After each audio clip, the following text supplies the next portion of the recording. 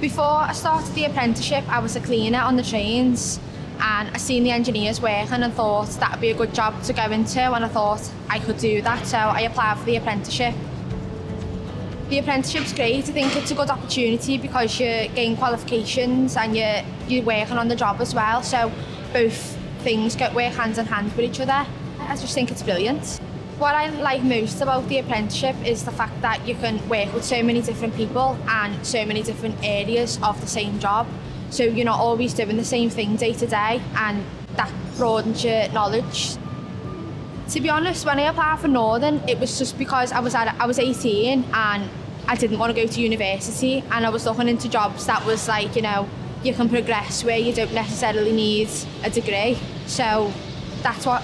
attracted me most to it and because I know it's it's one of those jobs where it's secure and you've got loads of benefits with like your pension and your travel and stuff.